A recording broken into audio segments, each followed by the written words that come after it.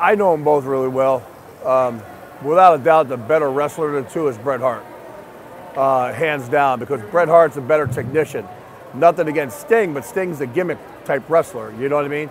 And uh, but Bret Hart is, uh, you know, he's what do you call himself? The excellence of execution or whatever his name is, man. And, and that sticks to it. I mean, Bret Hart comes from a second and third generation wrestling family, you know.